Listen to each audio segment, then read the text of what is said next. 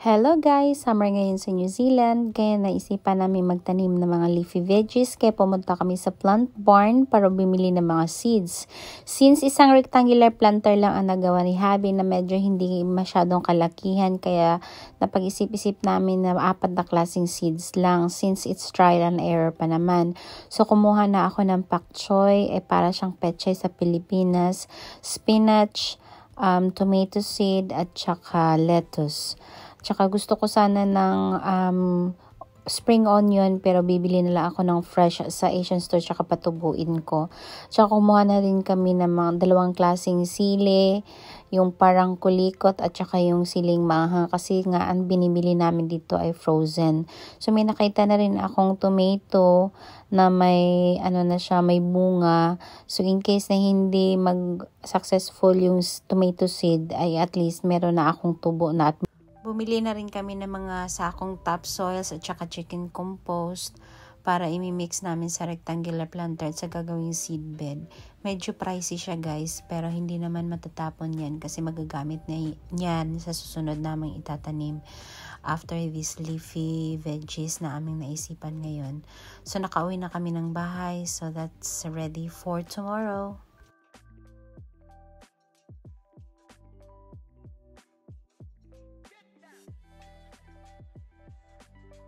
So, kinabukasan, ginawa niya yung rectangular planter. Nilagyan niya muna ng um, decomposed na soil. At saka, imimix niya yan yung topsoil at saka chicken compost.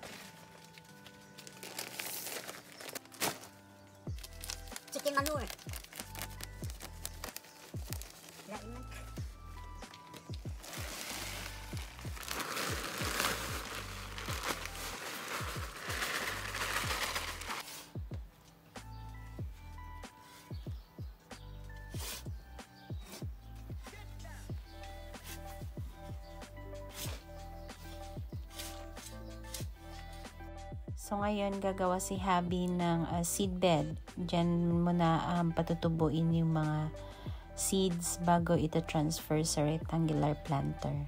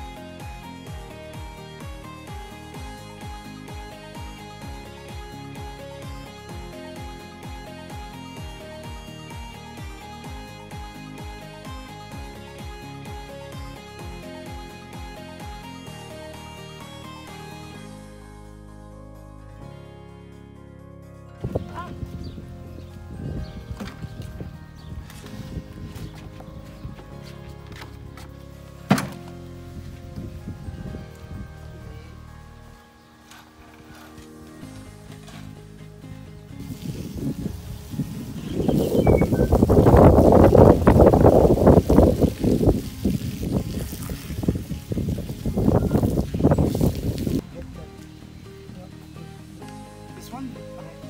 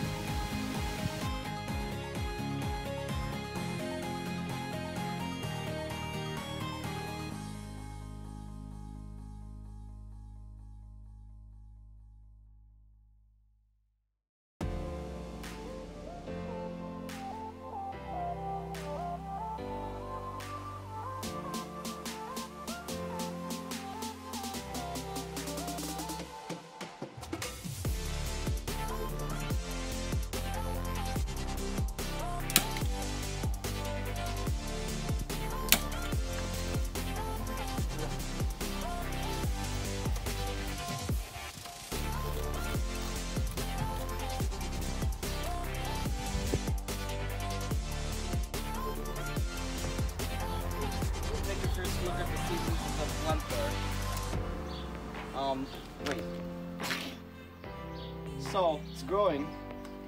Is it growing? Yeah. Not dead. Yeah, it works. This works like a charm. And these are pots. It's like plants growing. Now what is this? Tomato. Okay. Lemongrass. Hmm. This is chili. And what is this?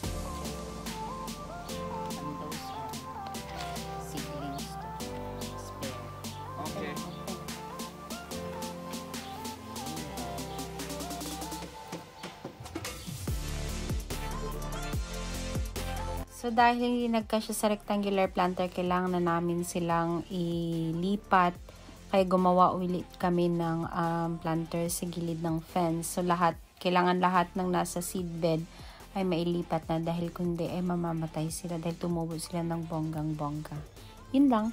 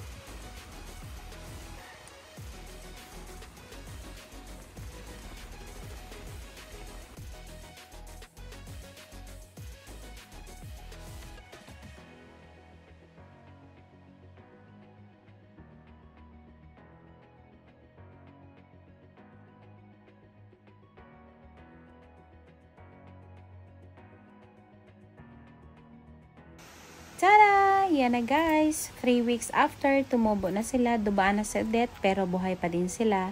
So, dito ko na lang tatapusin ang video na ito. I-update ko lang kayo pag mag-harvest na kami. Char. Kung sino yung uh, hihingi, bibigyan namin ko. Andito na kayo sa North Shore area. Char lang. so, please don't forget to subscribe. Click the notification bell so that you'll be notified every time na mag-upload kami ng bagong videos. And please the like and share button and comment if you like.